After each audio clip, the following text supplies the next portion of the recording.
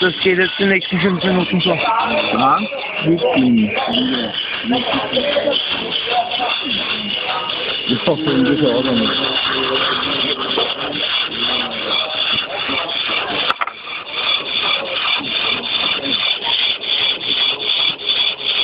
Thank you.